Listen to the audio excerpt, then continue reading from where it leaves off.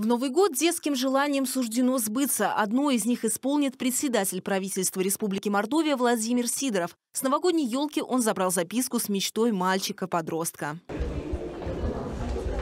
Мечтает о смартфоне 14 лет Владимир Кузин. Подарок будет доставлен. Лично съездию, поздравлю и вручу подарок. Примеру своего руководителя последовали и остальные члены правительства. Кто-то выбрал и ни одного подопечного. Без подарка не останется никто из ребят, принявших участие в акции «Елка желаний».